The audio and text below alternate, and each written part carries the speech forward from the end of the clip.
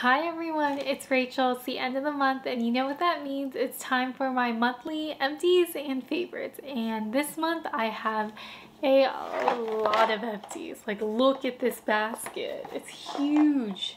Let's start with some products I have consistently used up and repurchased multiple times. I'm not going to go into too much detail about them because I have already in the past. If you're interested, I'm going to link a playlist above with all my monthly empties and favorites videos. That includes the Palmer's Cocoa Butter Lotion, another value-sized tub used up, the Trader Joe's Tea Tree Tingle Body Wash, use up this and love it so much, and another Crest 3D white toothpaste in Arctic Fresh. Those three products are like constant favorites, repurchases that I use all the time. If you want to learn more about them, click the card above. Next we have the Matrix of Biolage Volume Bloom Shampoo. Oh my god, this shampoo was sitting in my shower for months. for months, upside down, because I was trying to get every last bit out and it finally, finally, finally used it up this month. So um, to be honest, I don't remember why I picked this up. I think I was just trying out different shampoos and because I have fine hair, I went for something with volume. I think it was fine. I don't know if I repurchased. I'm trying out another shampoo right now from Pureology and then I'm thinking of trying an Asian, like Japanese or Asian beauties shampoo after. So I don't think I'll be repurchasing this anytime soon. Not that there's anything wrong with it. I'm just trying, I'm just testing out other ones. This is La Roche-Posay Toleriane Hydrating Gentle Cleanser. I actually repurchased this yesterday. So I bought this um, because I was looking for a like gentle hydrating cleanser that wasn't going to break the bank and I came across this on some like probably like TikTok dermal derm dermatologist. Why is that so hard to say? TikTok dermatologist recommendations and I liked it. I liked it enough that I literally just repurchased it yesterday. I think it is good. It's a good cleanser, especially for dry skin.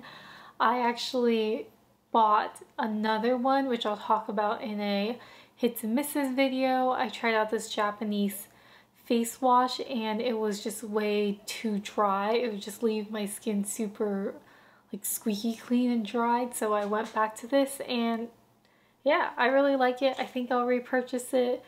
Um, yeah, I have nothing else to say. It works really well. And I believe if you have oily skin, they have like another formulation in this line for oily skin too. So highly recommend. Next we have the Drunk Elephant Protini Polypeptide Cream. So I think I've been using this for years at this point now. This is my go-to night moisturizer. Both me and my boyfriend use this at night and love the little like pump mechanism to keep all the air out. Um, it's kind of what it works really well for me. I've repurchased this countless times. I actually tried the Skin Fix one recently to see if it would replace this and it did not. So I'm back on this train. Love this go-to night moisturizer. It is very pricey though, so I only, I pretty much stock up on these whenever Sephora has sales and then I just buy enough to like last me until the next sale. So I don't have to pay full price for these. So that's my tip. Next we have the IGK Beach Club Volumizing Texture Spray. I remember hearing about this like years ago when IGK first came out, like all the YouTubers raving about it. And I kind of got reintroduced to this by a makeup artist who liked to use it for like that texture in hair. So I picked up the mini size to try it out because I was like styling my hair more. Um, I thought it was fine. I currently am testing out a different one that I picked up during the Sephora sale. I feel like this like had a lot of hype and then it suddenly then it died down. So maybe it was just hype. I'm just trying to see if there's anything else out there that's better. But it was alright. This is the Maelove the Hydrator. So it's essentially their like hyaluronic acid serum.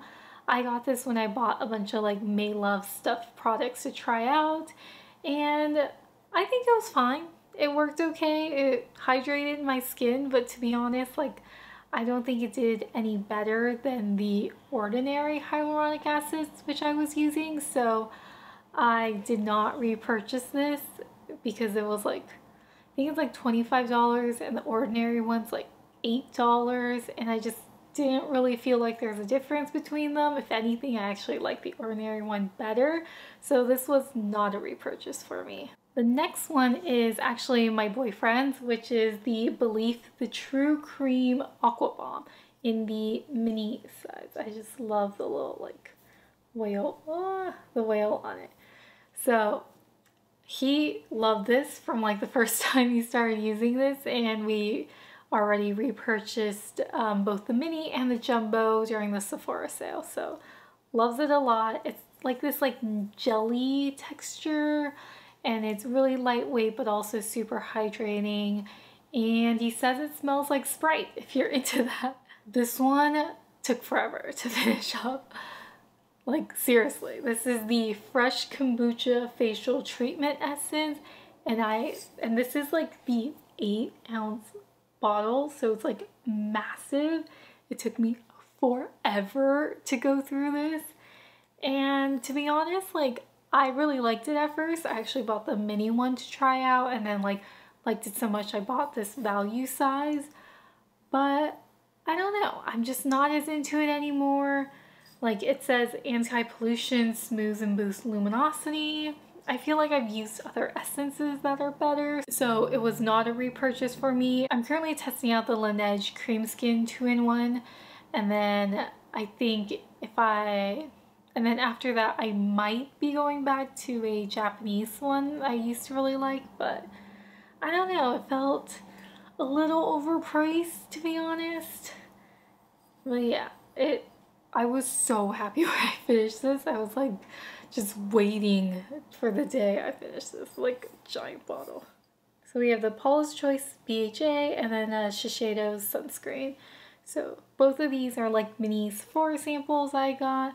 Paula's Choice used before multiple times. I feel like this is always just good to have in your like skincare stash or collection just in case you need it, especially if you get like the sebaceous, oops, if you get like sebaceous filaments, I feel like this is good to just like use every once in a while when you feel like really congested. I just got this to use as a travel sunscreen and it worked well. It like was that like milky texture that a lot of, that a lot of Asian sunscreens are like. It did have like a strong fragrance scent that I didn't love as much, but I wouldn't repurchase it because I just prefer to use like the Japanese drugstore ones over the Shiseido ones because like those are half the price and I kind of like that texture more. This is the Starface Lift Off Pore Strips and oh my gosh the packaging is so cute and adorable and I wanted to love them but they were not very good. um, these are basically like their version of Biore pore strips and I used all eight strips in here and they all did not work out very well. Um, first of all, I felt like they didn't have those like notches cut out so it was like hard to shape on your nose so I eventually like cut them out myself but also they just did not stick well and did not pull out the gunk very well so the packaging is super cute but would not recommend buying these. This is Salux I think Basically, it's like the exfoliating towel. Is that what they call them? I'm trying to see. I don't know, but it's basically like a exfoliating towel that I use all the time and my boyfriend thinks it is incredibly rough and calls it sandpaper, but I really like it because I like to make sure I'm constantly exfoliating my body, getting rid of the dead skin, and like I'm very prone to like ingrowns and dry skin, dry flaky skin, so I like to like constantly do that to make sure I'm getting rid of it. Those are all my empties. Unfortunately, there was no makeup. I feel like I'm like so close to finishing some of my makeup products. Like it's like this shampoo basically, like how I had it like turned over for like months and it was like hanging on by a thread. So hopefully it's coming soon and let's move on to my favorites. I feel like I always struggle with favorites because to me I feel like I really, really need to like something for it to become a favorite. So I feel like my favorites are always kind of like very curated, but I do have three things to share with you guys this month. The first thing is the Innbeauty Project lip oil in glaze number one, which is the candy apple. And oh my gosh. So I never, I never got the Dior lip oil. Like I definitely bought into the TikTok hype, but like I just never pulled the trigger because it's like, it's like almost $40 for essentially like really sticky lip gloss in a way. During the Sephora sale, said I tried out because I could get a discount and it's like $15 normally. And oh my gosh, the first time I used it, I loved it. First of all, it smells so good. So back in like junior high, high school, like, you know, Bath and Body Works era, like my favorite scent was Country Apple. So it kind of reminds me of that, but also like kind of like strawberry candy. It's like this mix between like candy apple and like candy strawberry. It smells so good. And it has this like giant doe foot that everyone talks about. And I just like this like nice sheer red tint. I'm wearing it today. Ooh, maybe I'll put it on.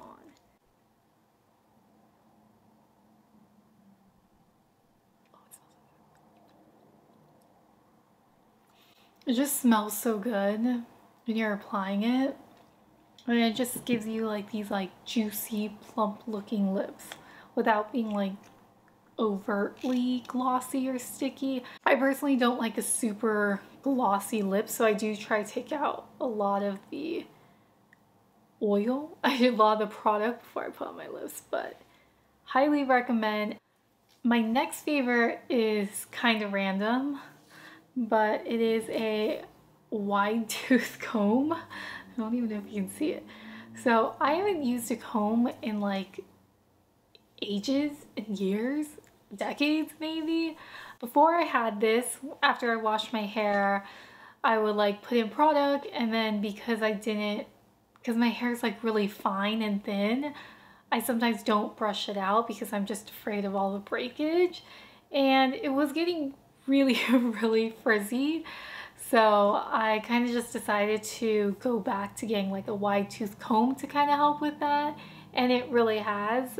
So now after I shower, I put in all my product, I just go through it with this comb and like it has made a huge difference. Like, I mean, this is gonna sound, I feel like you guys are gonna judge me, but I definitely like comb my hair more because I felt like, I feel like because of how wide these like teeth are, um, it's easier to like get through all the tangles and there's less breakage. So I've been really enjoying this and I think it was only like five, six dollars from Amazon.